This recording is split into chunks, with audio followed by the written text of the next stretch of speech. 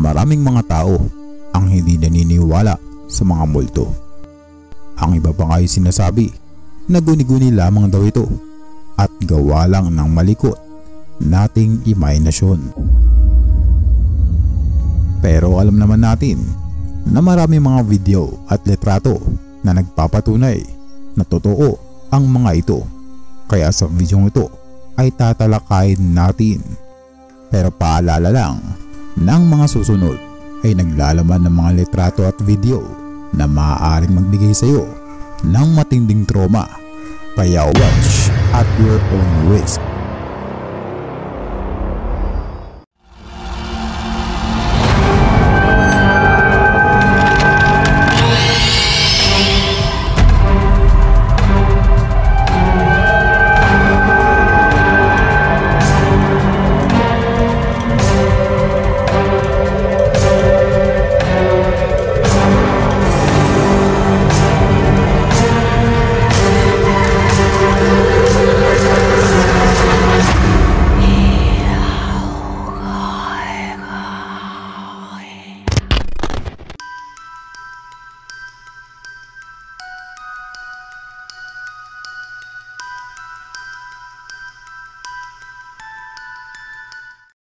Ang video ito ay kuha ng magkakaibigan kung saan makikita ang isang mukha na bigla nilang lumitaw sa tabi ng kanilang kasama. Panoorin natin ang video.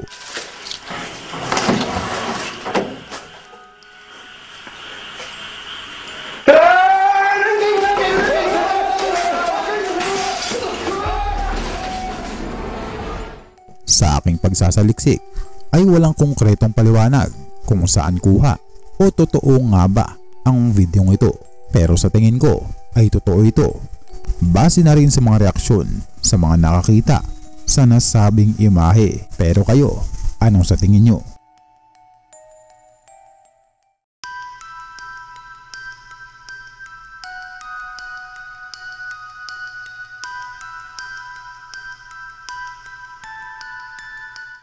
Ang video naman na ito ay kuha ng magkapatid kung saan makikita ang isang babaeng multo na bigla na lang lumabas sa bandang likuran ng kanyang kapatid at dahil doon ay kumaripas na sila palabas ng bahay. Panoorin natin ang video. Are you sure? I don't think so. What's that? Up there! I told you! On? I told you I seen something! Quickly! No! I bet you're telling you now. Up there! See? What'd I say? Oh my god. What'd I say? Ah, it's gone! No, shush. No. No! No! no! Napanood nga natin sa video. Pagkalabas nila ng bahay ay nakita nila mula sa labas na nandoon sa bandang itaas na kwarto ang nasabing multo at maya maya lang ay bigla naman ito napunta sa bandang ibaba ng kanilang bahay. Ayon sa aking nalaman ay hindi raw totoong multo ang nakuhanan sa video pero kung papanoorin mo mabuti ay parang hindi naman ito edited at wala rin namang konkretong ebidensya na nagpapatunay kung peke nga ba ang video ito. Pero kayo, anong sa tingin nyo?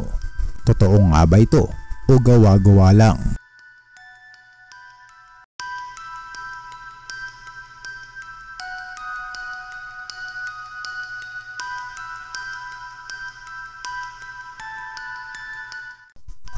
Videong ito ay kuha ng isang nagngangalang John sa kanilang tinitirahang bahay dahil ayon nga sa kanila ay araw-araw na lang nilang nakikitang nakabukas ang pintuan ng kanilang pantry kahit na sinasara naman daw nila ito tuwing gabi. At dahil nga doon ay naisipan niyang mag-set up ng isang kamera dahil nga sa kakaiba na ang kanilang nararamdaman at narito ang nakuhanan ng kanyang kamera.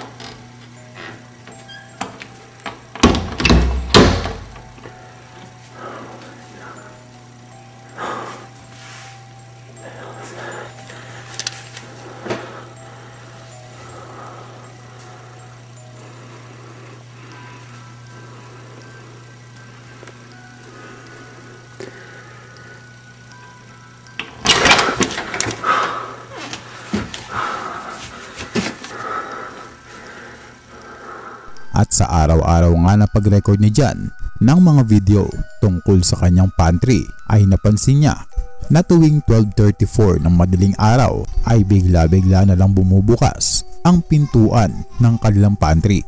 At sa sumunod nga na video ay nagsama na siya ng isa pang tao para nga patunayan na totoo ang mga kuha ng kanyang kamera. Hi, I'm John. It's day 10, 12.03 a.m. Still nothing happening.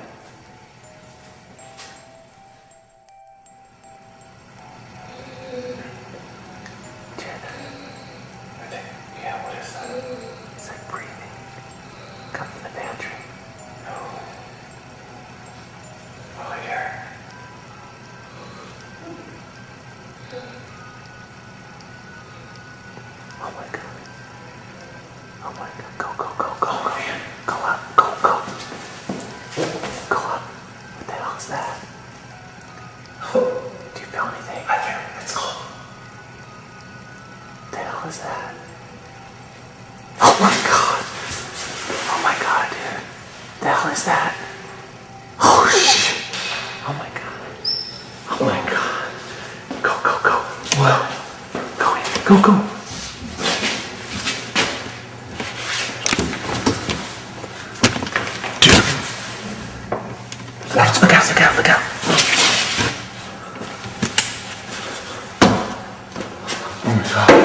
What the? I don't know. I don't know. That's crazy. I told you. Let's get out of here. Let's get here. Go, go. Matapos ng mga nangyari, si John at ang kanyang pamilya ay umalis na sa kanilang tinitirhan at ang mga pangyayari ngang ito ay nadokumentaryo pa sa isang channel sa YouTube kung saan ay pinatotohanan din na hindi edited ang mga kuha na video sa bahay nila John at ito ay isandaang porsyentong totoo.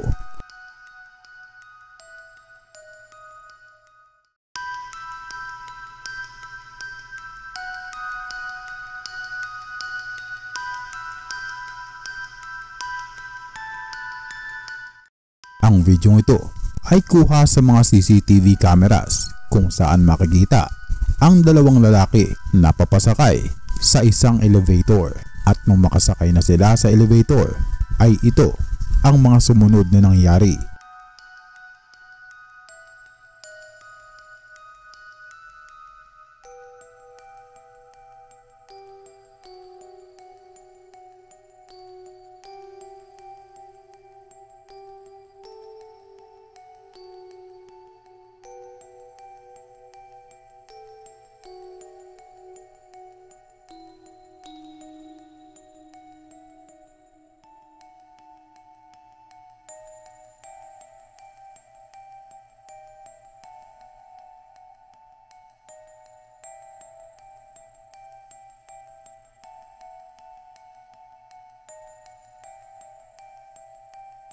Napanood nga natin sa video na nung pagsakay ng dalawang lalaki sa elevator ay wala naman tayong napansin na isa pa nilang kasama. Subalit maya maya lang noong paglabas nila ng elevator ay may bigla na lang lumabas sa likuran ng lalaki na parang isang matandang babae at ang mga kilos pa nito ay dahan-dahan itong naglalakad palabas ng elevator. Ayon sa pinanggalingan ng video ito ay matagal na daw kuha itong video. Mapapansin din naman natin sa quality ng video at sa kulay nito at hindi rin daw sigurado kung ito nga ba ay totoo.